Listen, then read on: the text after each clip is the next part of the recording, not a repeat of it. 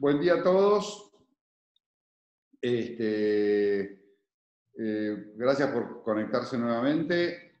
Vamos a hablar en los próximos medio, media hora de las manifestaciones pulmonares del lupus eritematoso sistémico. Eh, bueno, ustedes son reumatólogos, así que deben saber mucho más que yo de lupus, eh, pero como neumonólogo, digamos, como introducción, generalmente es una charla que doy a médicos neumonólogos, el lupus es una enfermedad sistémica autoinmune que tiene una afectación multiorgánica con curso de brotes y remisión. Es una afectación y es una enfermedad que compromete el pulmón entre el 20 y el 90% según la serie estudiada. O sea, hay series que le dan muy poca, muy poca manifestación, seguramente ahí tienen eh, mucho sesgo, pero porque la verdad que lo que uno ve es que los lúpicos tienen mucho compromiso pulmonar. Pero lo que es más interesante es que la afectación pulmonar del lupus tiene una mortalidad del 40% a los 5 años, lo cual es bastante y es interesante porque muchas veces es pasada por encima. Dentro de las enfermedades del colágeno, tenemos que el lupus, comparadas con otras, tiene menos compromiso de la, como enfermedad intersticial pulmonar crónica, tiene mucho más compromiso como enfermedad intersticial aguda, y tiene mucho compromiso de enfermedad pleural. Pero tiene ciertas características de compromiso que son únicas en la enfermedad, como son una enfermedad vascular distinta a la enfermedad vascular pulmonar que uno puede tener en la esclerodermia, y eso es importante porque hay que ver, cuál es la diferencia entre ambas, porque no tiene el mismo pronóstico ni el mismo tratamiento. Y la segunda de las cosas es que tiene una afectación única, que tiene una afectación de músculos respiratorios que es completamente distinta a la enfermedad de músculos respiratorios que tiene la dermatomiositis polimiositis. Por lo cual, tiene ciertas características que uno tiene que eh, tener muy en cuenta este, y saber que tiene características eh, particulares. Muy bien, cuando uno ve cómo son los compromisos eh, tomográficos en el lupus, uno ve que tiene mucho compromiso de vidrio esmerilado, tiene bastante compromiso eh, pleural, no tanto como la R o con la esclerodermia, tiene líneas, mucha línea septal, tiene muy poca panalización comparado con otras y tiene alguna presencia de quistes. La verdad que una tomografía no da diagnóstico de nada, pero da diagnóstico que en realidad sí tiene compromiso tiene compromiso eh, eh, pulmonar.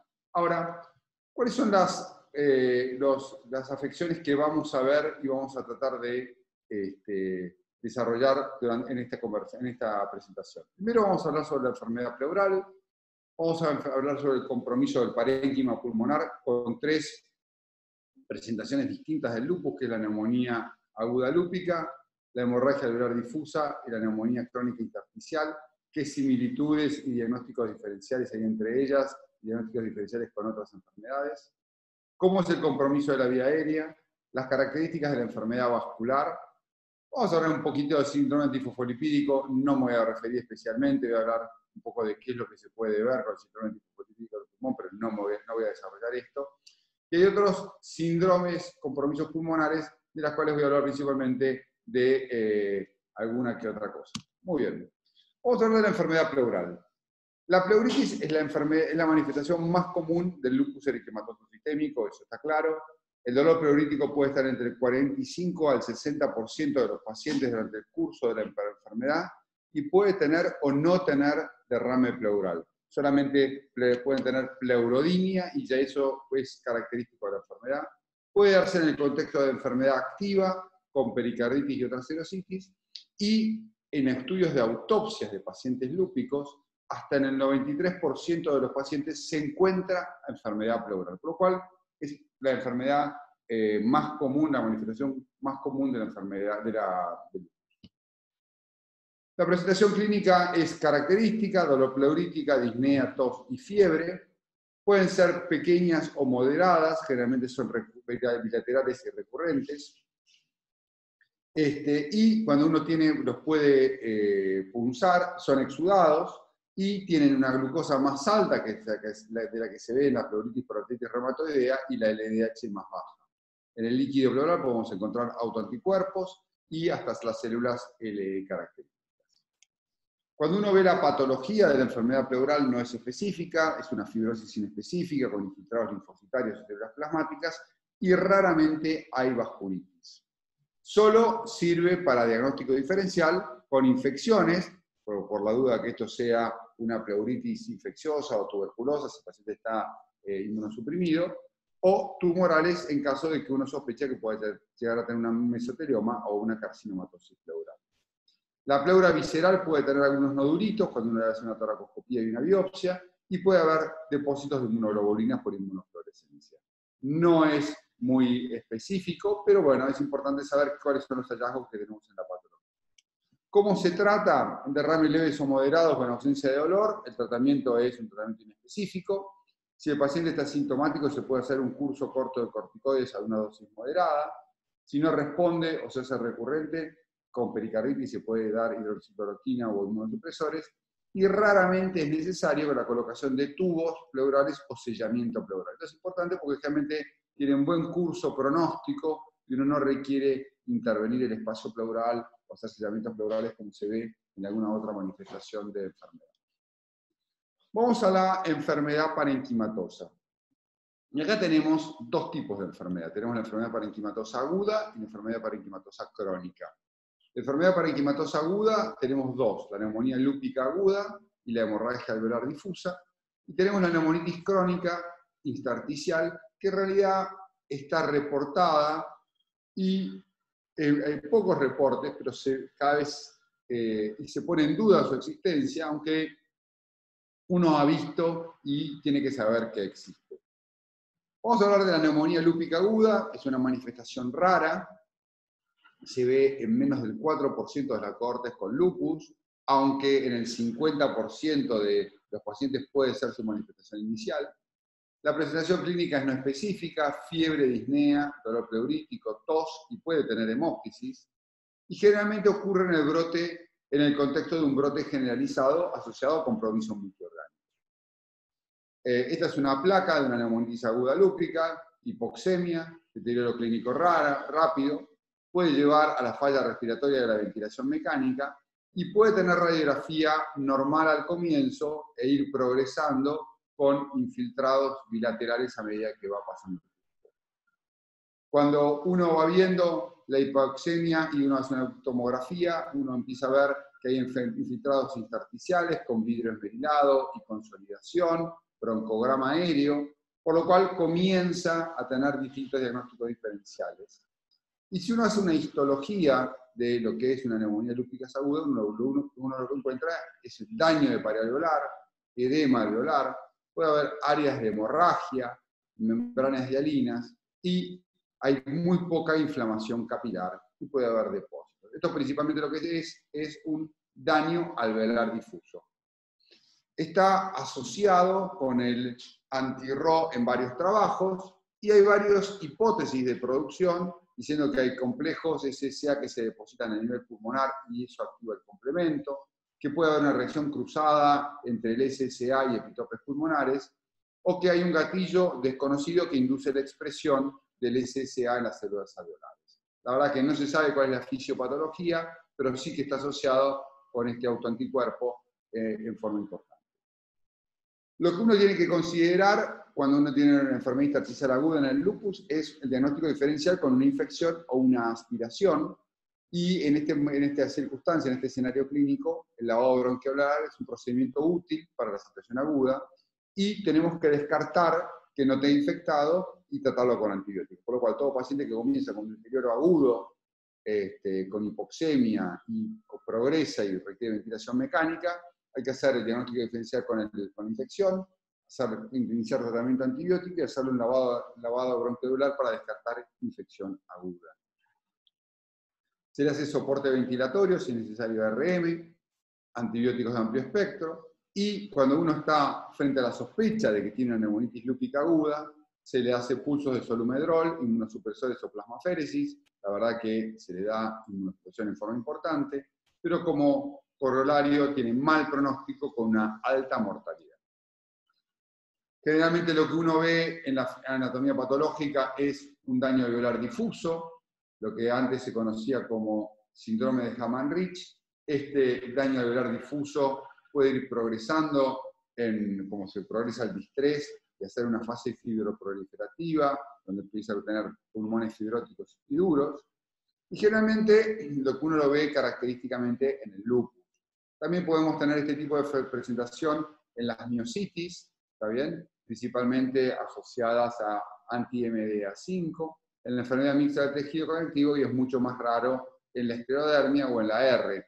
Aunque hay que tener en cuenta que la AR, que tiene compromiso crónico, puede tener exacerbaciones agudas y puede producir este tipo de enfermedad, pero siempre sobre una base de enfermedad aguda, no como en el lupus que se da como forma de inicio.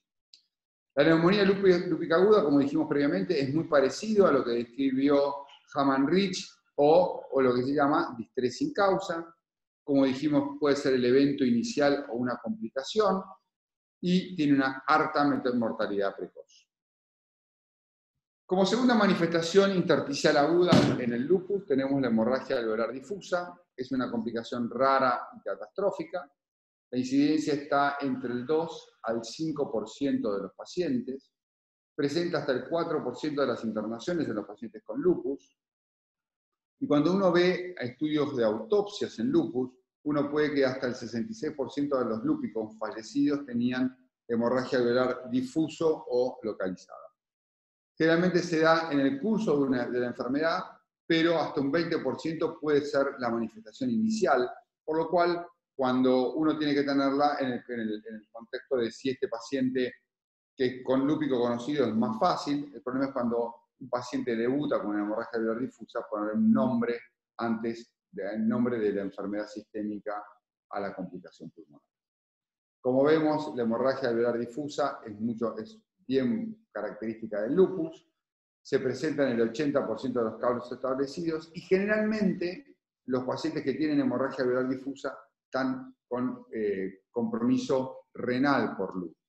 Lo que es característico que tiende a ser recurrente. La presentación clásica es disnea, fiebre, infiltrados con caída del hematocrito, que puede o no tener hemóptisis. Eh, acá puse yo que tiene un 50% de hemóptisis, pero hasta un 30% puede tener hemóptisis. O sea, quiere decir que la hemóptisis no es característica, puede aparecer y eso nos hace pensar en hemorragia alveolar difusa, pero cuando uno tiene infiltrados en un lúpico, uno lo primero que tiene que fijarse es qué hematocrito tiene y no descartar que tenga hemorragia porque no presente hemóptisis. Como dijimos previamente, la nefritis lúpica es característica en la como manifestación extrapulmonar, también se puede ver asociada a artritis, úlceras orales y alopecia. Para reforzar el concepto, lo que se ve generalmente cuando, en los casos de que tienen hemorragia alveolar difusa es una glomerulonefritis focal necrotizante, con cilindros hemáticos y con compromiso glomerular en la biopsia También podemos verla en el contexto de vasculitis leucocitoclástica. Y cuando uno hace la biopsia pulmonar, que no es, lo, no es lo aconsejado y no es lo que se hace actualmente, uno puede ver que el 20% tenga hemorragia blanda y el 80% esté asociada a capilaritis. Habitualmente se dice que el curso pronóstico de la hemorragia alveolar difusa es mucho más benigno cuando tienen capilaritis y cuando no tienen capilaritis con la fase de recuperación. Se tiene que hacer diagnóstico diferencial con la neumonía lúpica, la neumonitis lúpica, perdón, la infección pulmonar el tromboembolismo o si el paciente está cursando un deterioro de función renal por compromiso renal, que no tenga una neumonitis por urea. El soporte, el manejo es con soporte ventilatorio. Hay que hacerle la broncoscopía para, evaluar si tiene o no tiene sangre en la vía aérea y uno puede ver sangre macroscópicamente, macrófagos con hemosiderina y característicamente positivos negativos. El tratamiento es con esteroides y ciclofosfamida y como vamos a ver, claramente la plasmaferesis cada vez tiene menos rol en el tratamiento inmunosupresor de las enfermedades eh, pulmonares.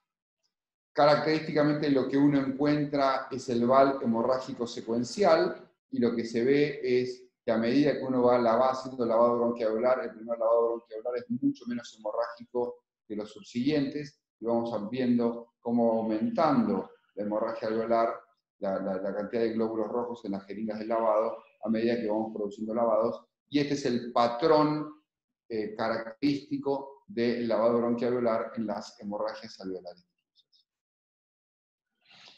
Eh, la biopsia quirúrgica es innecesaria cuando uno tiene evidencia de una enfermedad conocida. Puede ser considerada si no hay evidencia previa, aunque es muy riesgosa, y esto hay que tenerlo en cuenta. Biopsiar un paciente que tiene hemorragia alveolar es riesgoso porque generalmente se tienden a complicar con mayor hemorragia y mayor falla respiratorio. Como dijimos, la capilaritis tiene mejor pronóstico históricamente se los trata con inmunosupresión e históricamente se incluye la plasmaféresis, sin muchos datos eh, de estudios randomizados, solamente con evidencia de reporte de. Pero también hay que tener en cuenta que el daño alveolar difuso, o sea, la neumonía lúpica aguda, puede producir hemorragia alveolar difusa. Acá vemos un caso que tiene hemorragia alveolar difusa y como manifestación de hemorragia alveolar difusa hay daño alveolar, eh, hay hemorragia alveolar, eh, perdón, el daño alveolar difuso puede producir hemorragia alveolar. Entonces, generalmente se, se, pregunta qué es lo primero, ¿no? ¿Qué es primero huevo la gallina? Si, el primer, si, si primero el paciente tiene un daño alveolar que sangra y por eso tiene hemorragia alveolar, generalmente esa es la causa si uno tiene que tiene primero de falla respiratoria sin sangrado que después produce sangrado. Muy bien, pasamos de las complicaciones agudas a las complicaciones crónicas. La neumonitis intersticial crónica es una complicación de la neumonía lúpica aguda, puede quedar como secuela. Es una complicación muy rara, se ve en pocos pacientes, del 3 al 13%. La verdad que uno calcula que eh, eh, es raro y lo que se ve que ve una prevalencia de 30 hasta el 38% y generalmente es subclínica, no da mucha manifestación en el curso de una enfermedad. No tiene correlación con el anti-DNA, no tiene correlación con el tabaquismo ni con la exposición a drogas. En la histología podemos encontrar cualquiera de los patrones histológicos no UIP, podemos encontrar generalmente NSIP, raramente se ve UIP, se puede ver este, eh, neumonía organizativa o LIP, raramente es severa y no hay guías de tratamiento. El tratamiento es con inmunosupresores o con esteroides. Eh, y lo que se ve es una neumonía organizativa este, y también se puede ver con daño bilateral difuso lo que se ve es que la neumonía organizativa no es común en el, en lupus, se ve generalmente en la R, en la esclerosis sistémica, en la dermatomiositis, en la enfermedad mixta y, y en el lupus, menos comúnmente en la esclerodermia. Puede tener respuesta a corticoides, a citotóxicos o a bicofenolato. Puede ser la presentación inicial o la complicación de una enfermedad del colegio preexistente. También tenemos otro tipo de neumonías organizativas subagudas en las enfermedades del colágeno, como puede ser en la R o en el síndrome de Sjögren, que uno puede tener este tipo de neumonías organizativas como manifestaciones posteriores. Otras neumonías que se pueden ver es la neumonía intersticial linfocítica, como ya dijimos, se ve generalmente en el síndrome de Sjögren primario y en la R, y es mucho menos común, aunque sí se ve, se puede llegar a ver en el lupus y es una de las características que uno tiene que sospechar cuando uno encuentra una neumonía intersticial linfoide, pese a que tiene un trastorno de, la, disregulación y el lupus entra dentro del, diagnóstico diferencial. Lo que uno va a ver es en el VAL un lavado linfocítico y lo que uno ve en la anatomía patológica es infiltrado linfocitario de todos los este, septos del pulmón con mayor o menor cantidad de folículos linfoides. La tomografía puede llegar a ser característica con, este infiltrado intersticial y la aparición de quistes pleurales, que esto es característico del LIP, aunque puede tener menos cantidad de, infiltrado intersticial, pero con bastante aparición de quistes en nivel pleural. Muy bien, no solamente se ve quistes en el LIP, sino también pueden haber nódulos, y estos nódulos son donde se da en forma eh, localizada la neumonía intersticial linfoide. Muy bien, si un paciente tiene como manifestación de neumonía intersticial crónica del lupus, el LIP, generalmente está asociado a un muy buen pronóstico, realmente la sobrevida de los pacientes que tenían neumonía intersticial linfoidea es muy buena y generalmente el tratamiento se le da estos bueno, ya pasamos de, las manifestaciones del compromiso intersticial a las enfermedades de la vía aérea. Es una complicación rara pero bien conocida. Puede afectar la vía aérea superior o inferior y puede ser, asintomática o puede llegar a poner en riesgo la vida. Puede dar compromiso laringio, puede dar, es una prevalencia que va del 0.3 al 30%, puede tener una amplia afectación, puede haber inflamación mucosa entre el 28 de los pacientes, parálisis de cuerdas vocales, tiene una presentación clínica no específica y también está reportada una cricoaritenoiditis por lupus eritematoso El compromiso de la vía aérea baja es rara, pueden haber obstrucciones espirométricas y pueden haber bronquiectasias en la, en la tomografía de alta resolución, pero no son características en los pacientes. Hay reportes de, de, bronquiolitis obstructivas y de neumonía, como dijimos, neumonía organizativa. La neumonía organizativa no es una afectación bronquiolar, sino es un compromiso intersticial. Sí la bronquiolitis obliterante, aunque la bronquiolitis obliterante generalmente está más asociada, a, la, este, artritis reumatoidea que al lupus. Muy bien, Pasamos de la vía aérea, pasamos a la enfermedad vascular. Eh, la enfermedad, la hipertensión pulmonar en el lupus es una complicación rara, pero existe. Ocurre generalmente dentro de los primeros cinco años de enfermedad. La sobrevida es buena, aproximadamente el 85% está vivo a los cinco años. Y hay ciertas características que tienen, que el SSA es un factor de riesgo, y el anti-RNP1 es un factor protector. Característicamente estamos eh, acostumbrados a pensar que la enfermedad vascular pulmonar en los pacientes que tienen enfermedades del tejido conectivo eh, tienen muy mala evolución y esto es, así lo marcan todas las series internacionales, donde vemos que las enfermedades congénitas cardíacas tienen mejor pronóstico que la enfermedad idiopática, y las enfermedades de hipertensión pulmonar asociadas a enfermedades de tejido conectivo tienen peor evolución. Pero esto hay que ver el desagregado, porque, porque en realidad esta peor evolución que marcan todas las series de la hipertensión pulmonar asociada a enfermedad de tejido conectivo se da principalmente por la mala evolución que tiene la esclerodermia. En cambio, el lupus tiene una evolución mucho mejor en todas las series internacionales. Y esto se debe principalmente a que el lupus tiene una característica que es que muchos de estos pacientes responden con tratamiento inmunosupresor.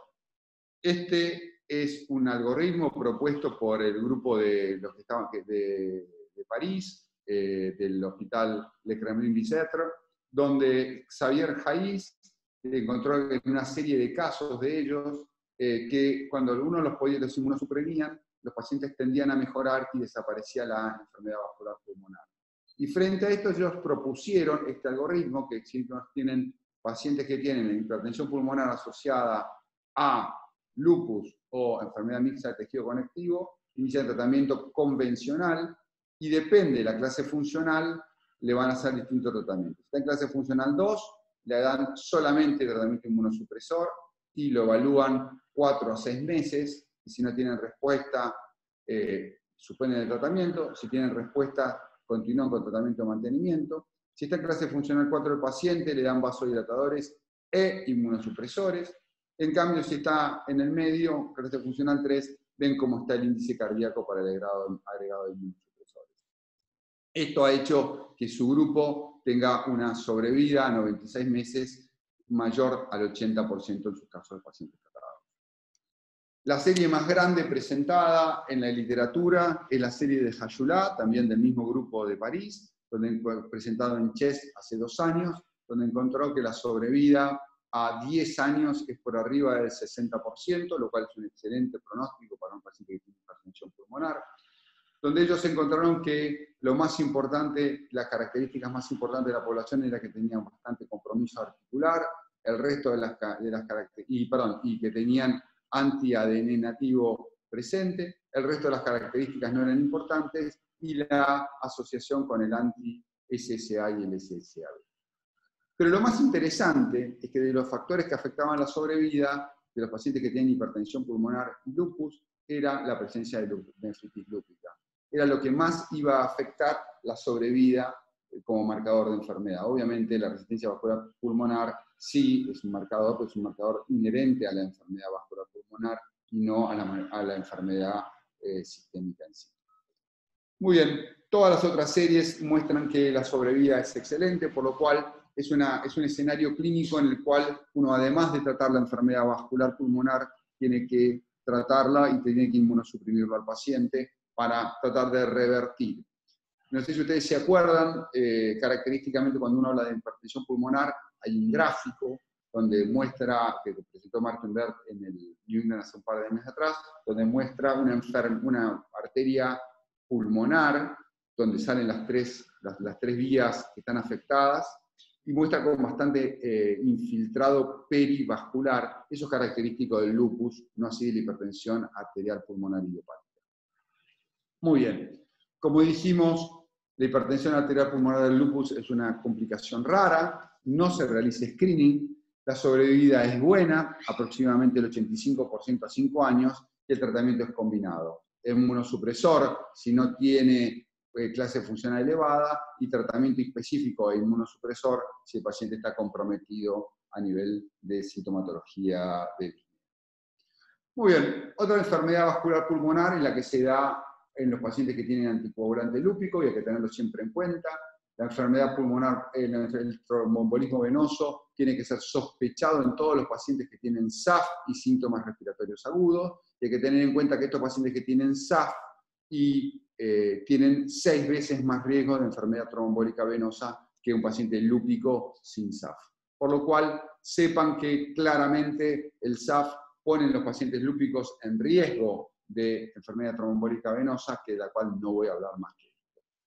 El SAF tiene otras manifestaciones no trombóticas en los pulmones de los lúpicos, puede estar asociado a mayor hipertensión pulmonar, está asociada a hemorragia alveolar difusa, está asociada a síndrome de distrés respiratoria está, tratado, está asociado a compromiso de válvulas cardíacas. Puede producir además el síndrome de Acherson, que es el síndrome antifosfolipídico catastrófico, que puede llevar a la falla respiratoria y al distrés respiratorio en los pacientes. Muy bien. Y por último, y ya hablando de las últimas características, de otro síndrome característico del lupus que tiene baja prevalencia, pero sí es característico del lupus, es el síndrome de encogimiento pulmonar. Se presenta con disnea, puede tener dolor pleurítico asociado, disminución de volúmenes pulmonares, sin evidencia en la tomografía de infiltrados. Y la patogenia es muy controversial. Algunos sospechan que tiene una miocitis, otros una miopatía, otros hablan que la inflamación pleural crónica impide la inspiración profunda, otros hablan de un trastorno eléctrico. Este es un paciente que tuvimos, esto debería tener movimiento, no, bueno, en la sala, hace un par de años atrás, donde lo que se veía en este paciente, que era un paciente que era traído de Paraguay, era que tenía este, respiración paradojal. Cuando el tórax inspiraba, el abdomen se contraía. Acuérdense que el diafragma está acá en el medio y cuando uno inspira, además de expandir la caja torácica, tiene que bajar el diafragma y eso hace que el abdomen salga. Y tenía respiración paradojal, que fue la sospecha clínica que cuando llegó el paciente tuvimos que además de su cuadro agudo, pero vamos a ver qué era lo que tenía, además tenía falla diafragmática. Este paciente tenía diagnóstico de lupus en Paraguay, tenía esta placa al inicio, esta era la placa con la que había ingresado al hospital, tenía eh, elevación del hemidiafragma y tenía en la tomografía de tórax este, eh, eh, con algo de, infiltrados con broncograma aéreo, por lo cual al paciente se lo estudió, lo habíamos encontrado que estaba levemente anémico, que tenía 13 gramos de hemoglobina, tenía una eritro elevada este, y tenía alteraciones a nivel, tenía cilindros en, la orina. Cuando le medimos la capacidad vital forzada, el paciente tenía 58% de capacidad vital forzada, al acostarlo al paciente le bajaba 44%, cuando la capacidad vital forzada de un paciente disminuye al decúbito dorsal, el paciente es cuando disminuye más de 15%, es patente del compromiso diafragmático del paciente. Este, el paciente tenía un ecocardiograma donde no tenía hipertensión pulmonar, tenía un estudio, un electromiograma diafragmático que lo pudimos hacer en su momento en el hospital alemán, que era totalmente normal. Eh, no tenía hallazgos relevantes en la broncoscopía y tenía presencia de macrófagos con hemosiderina en el lavado bronquialveolar. Al paciente lo inmunosuprimimos y mejoró. Claramente se sabe que los pacientes con lupus tienen síndrome de encogimiento pulmonar. Eh, son series de casos reportados en la literatura en forma bastante consistente. Algunos están asociados con pleuresía y algunos tienen evidencia de miocitis. Y lo más importante es que todos los casos tienen, tienen disnea, pueden tener dolor torácico o no, y los síntomas tienden a mejorar con la inmunosupresión. Nuestro paciente eh, tenía este, esta, eh, esta, capacidad vital forzada al inicio, con esta TLC al inicio, con tratamiento crónico con eh, inmunosupresores, el paciente fue mejorando y terminó normalizando su función pulmonar. Y está hasta reportado la utilización de rituximab en el tratamiento como tratamiento de inmunosupresor.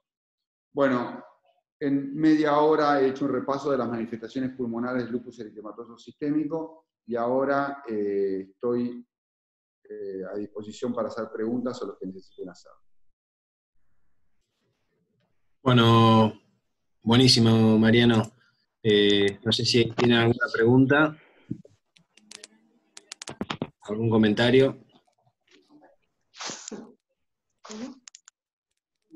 Ahí habilito el audio de todos, por si, alguien quiere comentar algo.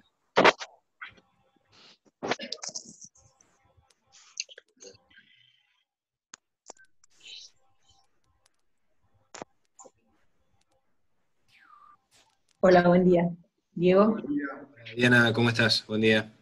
¿Qué tal? ¿Cómo, cómo estás? Buen día. Muchísimas gracias, Mariano. Hermosa la, charla. Eh, te quería eh, comentar y consultar dos cosas. Primero, nosotros en general el RNP lo asociamos a tensión pulmonar, lo consideramos como un marcador eh, y cuando tenemos RNP positivo tratamos de buscar hipertensión pulmonar, hacemos una capilaroscopía y generalmente unificamos esos tres conceptos. Esa sería una de las preguntas. La otra es qué rol le das a los ejercicios en el síndrome de shrinking a ver, yo, claramente eh, lo asociaba el anti-RNP a la hipertensión pulmonar, principalmente como marcador por ahí de un compromiso más de enfermedad mixta. Ahora, si el paciente es lúpico, lo que marcan las series, no es mi experiencia, lo, yo repito como lo que, lo que he revisado, Hayula es un, eh, es uno de los neumonólogos de referencia que hace principalmente enfermedades de tejido conectivo en París, lo que él ha encontrado es que tiene algún grado de, eh, protección. La verdad que yo no sé si eso es tiene algún confundidor en su, en su, en su, eh, conclusión o eh, es, algo que él este, ha llegado a una, por, cómo ha llegado a esa conclusión, pero claramente en, la, en, la, en el estudio mostraba eso. Y segundo, los ejercicios eh, sí, a ver, los ejercicios, digamos, el aumentar la rehabilitación respiratoria, la rehabilitación de los músculos respiratorios es importante en toda la, en toda la patología respiratoria. Pero lo que sí es, eh, mi experiencia, lo que está reportado, que cuando uno tiene eh, Shrinking Lung Syndrome, el tratamiento mejor es la aumentarle la inmunosupresión, porque hay un fenómeno de eh, inmune, que lleva al encogimiento pulmonar. La verdad que sí es por miocitis, no queda muy claro cuál es la fisiopatología, pero lo que sí se ve es que el paciente tiende a mejorar eh, cuando aumenta la inmunosupresión. los pacientes que yo he tenido con enfermedades de encogimiento pulmonar, todos han mejorado con el aumento de la, eh, este, de la inmunosupresión. Y este paciente que presentaba, que estuvo internado acá en una sala, después lo seguí, y después se volvió a Paraguay, se volvió a Paraguay, el paciente se fue, tenía menos del 50% de FBC y a medida que fue pasando el tiempo, a dos años de seguimiento tenía FBC normal y no tenía ya no tenía compromiso respiratorio, no tenía más debilidad farmática. La verdad que el paciente es, es, importante detectarlo y es un marcador de que el paciente tiene que ser aumentado con inmunosupresión. Bueno, muchas gracias.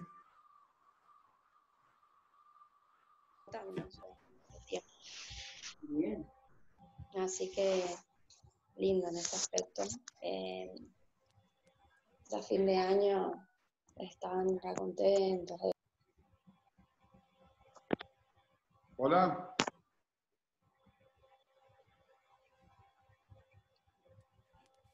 Hola, hola. Hola, escucha? Te escucho, sí. Ana, ¿cómo andás? Buen día, gracias por la charla, Mariano. Muy, muy interesante. Yo me quedaba pensando, a veces puede ser que en la tomografía resulte eh, más difícil diferenciar cuando eh, en, los casos agudos, eh, en la neumonitis intersticial o una neumopatía lúpica aguda, cuando ambas tienen compromiso alveolar, o en la tomografía uno lo puede diferenciar con facilidad que diferenciar que la neumonía lúpica aguda de la hemorragia o de la enfermedad intersticial. De la enfermedad intersticial y la neumonía lúpica aguda, cuando la neumonitis intersticial tiene compromiso alveolar, por ejemplo, un patrón más. A ver, eh, claramente los patrones, la tomografía marca enfermedad y uno puede tener la sospecha y puede tener, eh, digamos, el, la tomografía es, es, importante para ver el patrón. Uno pone el diagnóstico después del contexto clínico. Eh, el, el patrón alveolar, que de lleno alveolar, que puede tener la sangre, eh, hay que tenerlo, ponerlo en contexto de que si es sangre o no, uno lo va a ver con el balo si tiene hemóptisis. Pero el lleno alveolar, la diferencia entre una, tomografía de hemorragia alveolar o de daño alveolar es el contexto de si cae el hematocrito o no cae el hematocrito, la falla respiratoria. Hay pacientes que tienen muy poquito sangrado alveolar, hay pacientes que tienen mucho sangrado alveolar y hemoptis, y claramente, a veces la tomografía ayuda a hacer el diagnóstico, pero no es, este, pero no es marcadora total y lo que uno tiene que poner es el contexto de, este, clínico. Eh, por ejemplo, en las neumonías intersticiales crónicas, hacer diagnóstico de una enfermedad solamente con, el, con la tomografía lleva al diagnóstico correcto en el 27-30% de los casos, solamente con el dato radiográfico. Cuando uno suma el dato radiográfico a la presentación clínica, autoanticuerpos, eh, historia clínica, el diagnóstico es mucho más preciso y hay mucho más eh, acuerdo entre todos los observadores de la misma tomografía. Por lo cual, una tomografía sola no va a ser diagnóstico, sino que hay que poner en contexto la tomografía con los antecedentes clínicos, etcétera, etcétera. Por eso es muy importante que al tomografista no le vaya al paciente solamente pedir una tomografía, sino ponerlo bien en contexto clínico de cuál es la historia y explicarle bien qué es lo que uno está buscando y cuáles son los diagnósticos diferenciales que está teniendo en ese momento. No sé si te una pregunta te, dice, te dije Sarasa por cinco minutos. no, muy bien. Eh, entiendo que es difícil diferenciarlo. Yo a veces me pregunto si también eh, la baja incidencia que hay en, la neumonitis lúpica eh, no tiene que ver con que cuando vemos al paciente ya está en un estado de hemorragia alveolar y a veces nos podemos confundir también. Eh, bueno, claramente, digamos, a ver, que una no excluye la otra, digamos. Una cosa es la hemorragia alveolar pura, otra cosa es la neumonitis lúpica, ¿está bien? Pero las neumonitis lúpicas, que es el daño alveolar difuso, puede producir hemorragia y puede tener las dos. Ahora, la historia de una y la historia de otra son distintas este, en el contexto clínico del paciente. Pero sí, a ver, hay ciertos patrones tomográficos que hacen pensar más en hemorragia. Hay ciertos patrones tomográficos que hacen pensar más en eh, daño alveolar difuso. Ahora, la verdad, digamos, pero te hacen sospechar de el diagnóstico diferencial verdadero es esa descartar que no tenga sangrado, descartar que no esté infectado, para terminar de acuñar, digamos, de caraturarlo y diagnosticarlo en forma adecuada. Bueno, muchas gracias. Mm. Y gracias por darnos las clases a esta hora y me, encanta.